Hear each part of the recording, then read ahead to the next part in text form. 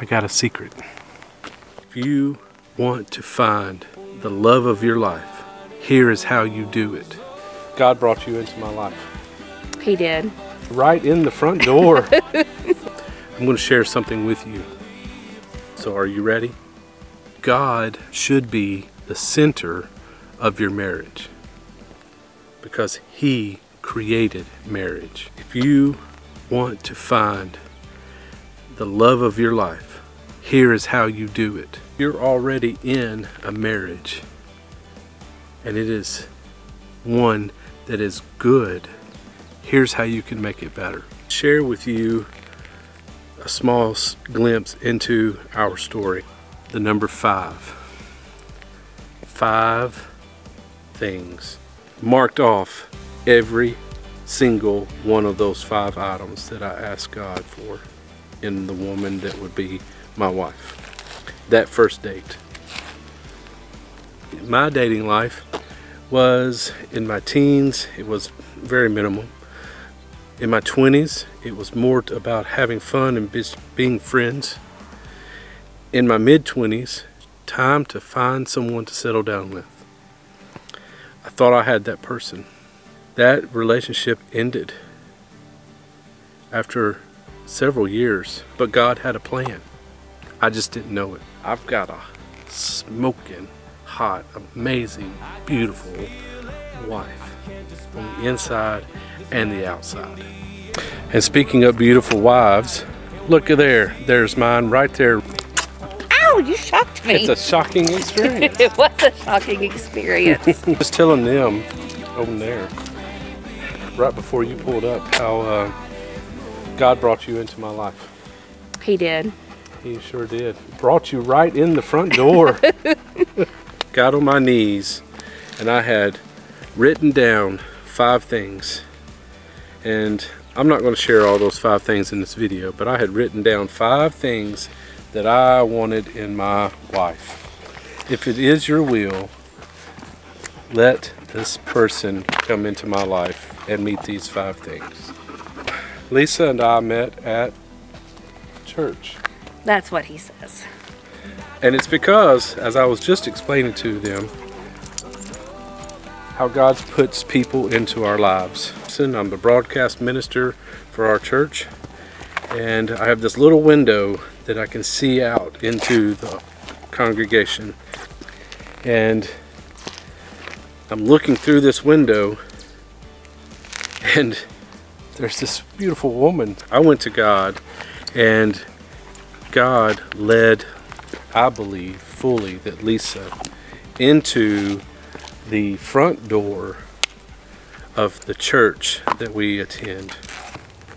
I'm starving. What do you want to have for supper? I don't know. Ooh, that's disgusting. It's turkey. it's turkey. well, it felt disgusting, like somebody's skin or something.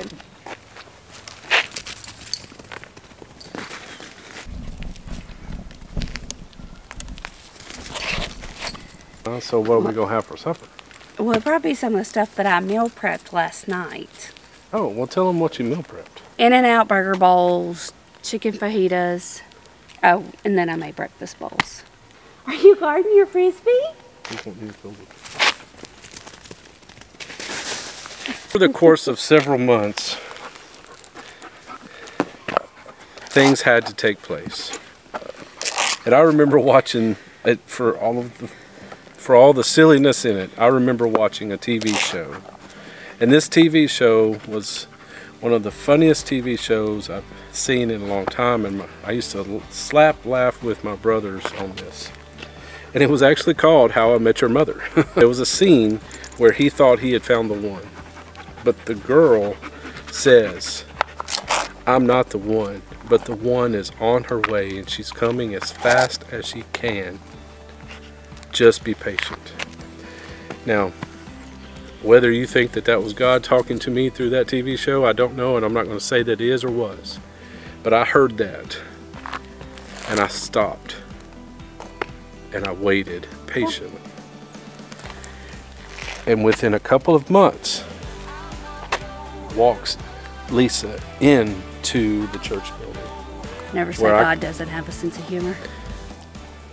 I'm proof Square of over that. Your face there. You're picture perfect. In that little window was this view, and it was almost as if the sunlight was hitting her specifically. And I mean that.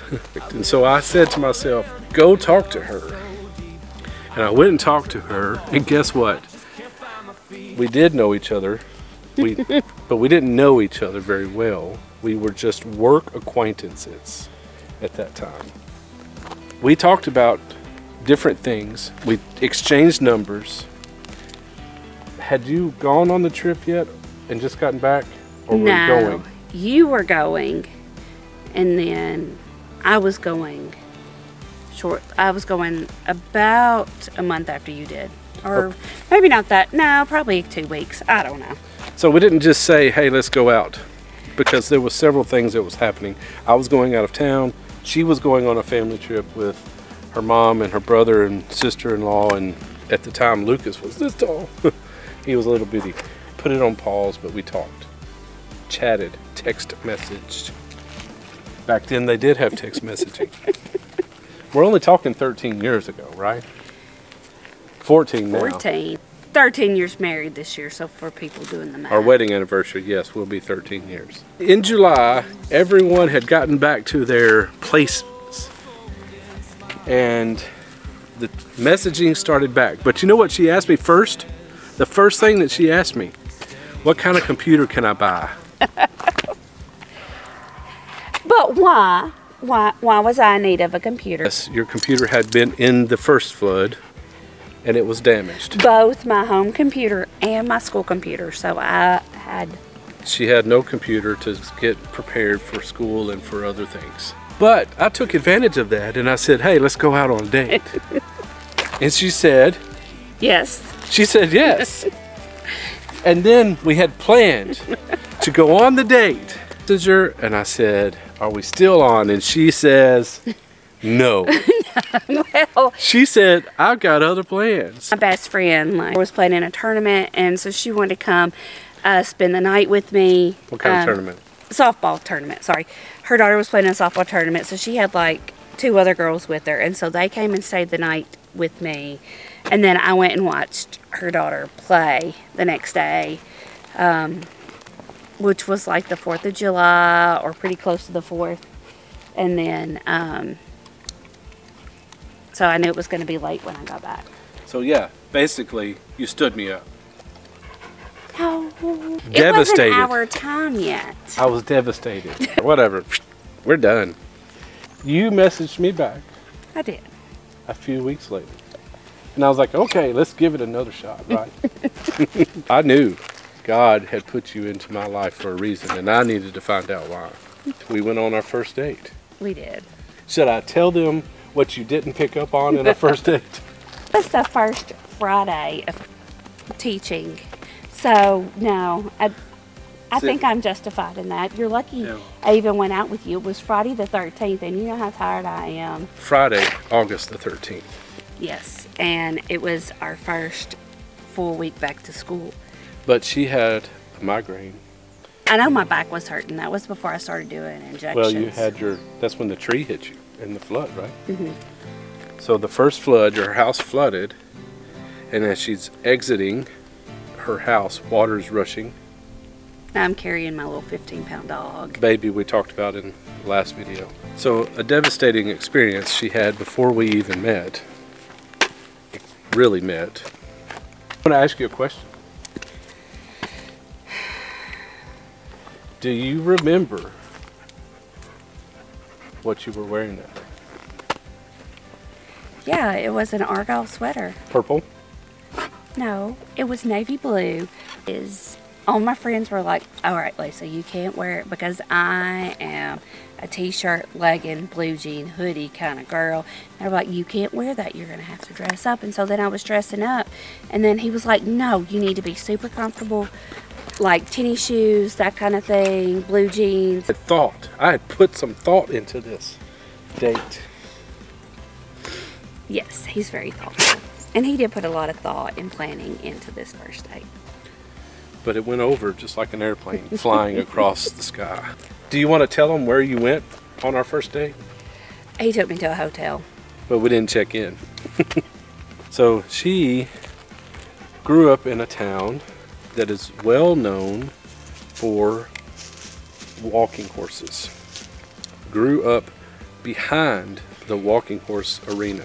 In the walking horse capital of the, the world. She also told me in a message that she really liked carousels. The activity that she said that she liked mm-hmm. was putt putt. I do love to play mini golf. And if you've watched any of our videos, we play putt putt a lot. And mm-hmm. they had, because it was Nashville, get your frisbee. There were horses. Not real horses, but statues of horses around the putt putt course. The hotel restaurant had carousel horses on the wall. Then we stopped at another restaurant to have dessert which also had horses on the wall, carousel horses. And see, she didn't even pick up on this. And now here we are 13, 14 years later. And she still doesn't know that all these places were themed around carousels and horses. I do know it, but I don't remember seeing it all. In the comments below, write what your first date location was if, if he would find these five things in a woman to bring, would she be brought into my life? God walked Lisa into my life. I'm not going to say what those five things are. But on that first date, even though she had a migraine, and even though I don't remember exactly what color her Argyle sweater was, but even though she didn't pick up on the fact that we went around a themed date that I found locations that had all these things for her. she marked off every single one of those five items that I asked God for in the woman that would be my wife. That first date. And six months later, I asked you the question. You did. And your answer was? Yes. Sure. we hope you enjoyed this little fun walk down memory lane, but it really is important to bring God into your marriage. Even if it's before you even think about dating someone, you bring God into your marriage. If you've been married for many years, you keep God in your marriage, you bring God into your marriage. You ready to go eat? Okay, we're gonna we'll continue another video uh, giving the next steps into God walking people into your lives. Have a good night, guys. We hope you liked this video. Subscribe to our channel. We'll continue down this path of having some fun. Good night.